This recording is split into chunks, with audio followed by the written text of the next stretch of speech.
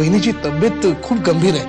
म्हणजे ज्या टेस्ट करायच्या त्या मुंबईलाच जाऊन कराव्या लागतील आणि त्याही तातडीनं असं म्हणाले डॉक्टर डॉक्टरांचं काय जात हे सांगायला? विस्तरावं लागणार आहे आपल्याला. अगं कोण कुठला परका माणूस तो? तो मदत करायला तयार झाला आपल्याला. मी तर मोठा धीर आहे ग. आता आता माझ्याकडे चला असं म्हटलं नसतं तर किती वाईट दिसलं असतं ते. वाईट दिसलं असतं म्हणे. एका दिवसाचा प्रश्न आहे ना? म्हणून तुमची ही चूक सोडून देते हा मी. उद्या मात्र त्यांच्याबरोबर टेस्ट करायला जायचं नाही. त्या दोघींना हवं तर जाऊ देत. काकू त्या बाई आल्या होत्यात ना दीक्षा ज्यांच्याकडे काम करायची. त्यांनी तुम्हाला द्यायला माझ्याकडे दहा हज़ार रुपये दिले होते. पण ते चुकीने माझ्याचकडे राहिलेत.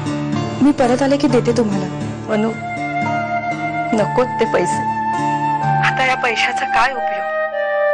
पैशांनी झालेलं नुकसान थोडंच भरून निघणार आहे. मग अ, मी आता काय करू? मनू तू सध्या मुंबईतच आहेस ना? तू असं कर. वसुमती राऊतांची भेट घे. त्यांचे माझ्या वतीने आभार मान. आणि त्यांनाही त्यांची रक्कम परत कर. आणि त्यांना सांग. तुमच्या सद्भावना पोचल्या आमच्यापर्यंत. बरं मी सांगते. दीक्षाने जीव देण्याआधी मी तिला दिलेले फोटोग्राफ्स तिच्या मरणानंतर पोलिसांच्या हाती लागले असतील तर?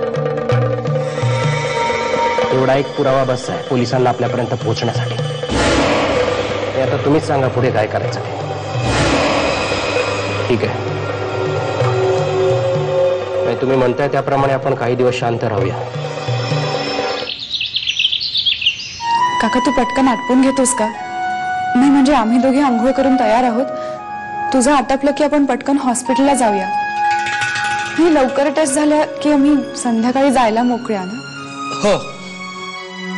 अगं मनू काकाने तुला सांगितलं नाही का? आज संध्याकाळी आम्ही दोघं माझ्या बहिणीकडे जाणार आहोत.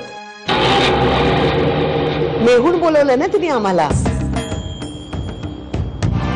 काय लिहिताय तुम्ही? मनुताईसाठी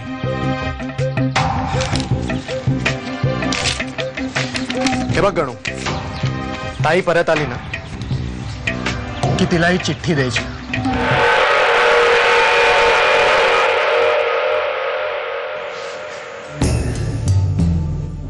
आज आपल्या पार्लर मधला सगळ्यात दुःखद दिवस आहे. दीक्षा आपल्यात नाही. देव तिच्या आत्म्यात शांती देव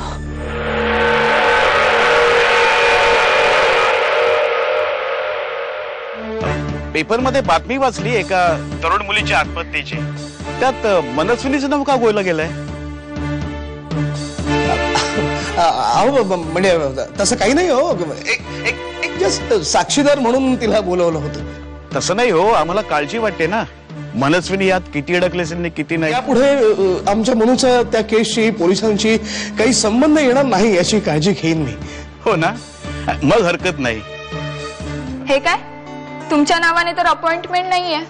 हे बघा मॅडम अशा टेस्ट अपॉइंटमेंट घेऊनच कराव्या लागतात. कोणी कधी आलं आणि झाल्या टेस्ट असं नाही होत. आज नाही होऊ शकणार तुमच्या या टेस्ट हो पण आम्हाला कसं करणार? आम्ही कालच रात्री आलो अलिबागहून. बघा ना जरा संध्याकाळपर्यंत झालं तरी चालेल.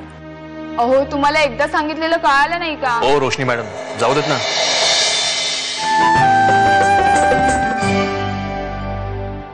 रोशनी मॅडम कशाला शिस्तीचा बडका दाखवत आहे ते खरंच लांबून आलेत.